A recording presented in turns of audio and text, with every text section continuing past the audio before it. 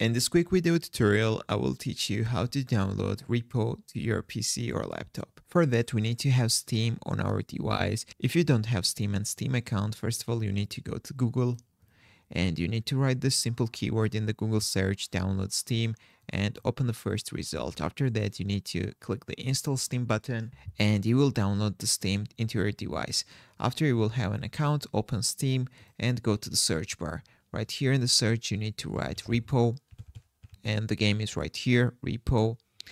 You need to open it and you need to scroll a little bit down. You will see add to cart button right here. You need to click this and you need to click view my cart.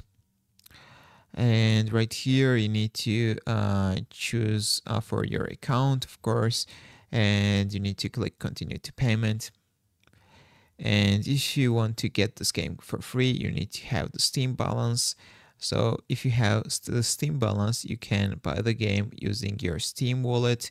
Uh, but if you don't have uh, enough balance, uh, you can change the payment option to any others, for example, PayPal uh, Visa, MasterCard, and etc. Uh, and click the continue button and after that you will buy the game. When you buy the game, you can check the game in the library, click the library in the top menu and in the list you need to find the repo. So that's all I want to show you. If this video is helpful for you, don't forget to click the like buttons and don't forget subscribe.